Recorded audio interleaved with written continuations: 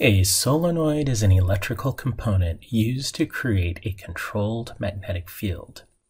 It is made from a helical coil of wire with the same current I passing through each loop in the coil. The current that passes through this coil generates a nearly uniform magnetic field within the volume bounded by the loops. In this sketch, current is flowing from left to right in the solenoid.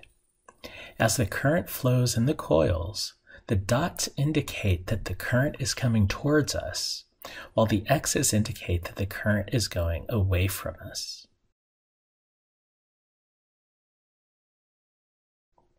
Let's take a look at the magnetic field generated by a single loop of this coil. The top of this loop has current coming towards us, while the bottom of this loop has current moving away from us. We will look at the net magnetic field at three points equally distant from the central axis of the solenoid and three points that lie on the central axis of the solenoid. From superposition, it can be shown that the net magnetic field at every point on the central axis is parallel to the central axis. While the shape of the magnetic field line passing through two points outside of the solenoid and centered about the loop is curved symmetric about the loop. Thus, the magnetic field at each point on the central axis is parallel to the axis and is strongest at a point at the center of the loop and weaker farther away. The magnetic field at two of the points outside of the loop is tangent to the curve representing the magnetic field line at that point. And the magnetic field directly above the top of the loop is parallel to the solenoid's central axis. Let's get rid of the magnetic field lines to focus on the magnetic fields at each of these points. Let's also look at the magnetic field due to three consecutive loops.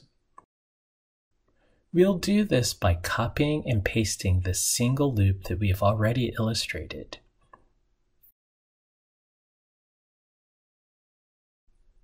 As you can see, by superposition, the net magnetic field at a point immediately above the central loop is approximately zero. Since we will model this as an ideal solenoid, which really means a solenoid whose length is much larger than its diameter, we can say that the magnetic field at all points outside of this solenoid is approximately zero, since the magnetic field contribution due to groups of loops sum to nearly zero outside of the solenoid.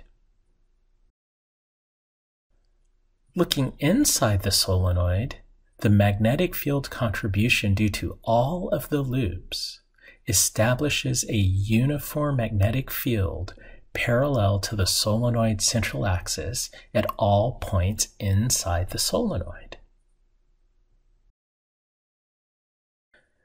To summarize, the magnetic field inside an ideal solenoid carrying current I is uniform and parallel to its central axis, while the magnetic field outside an ideal solenoid is zero.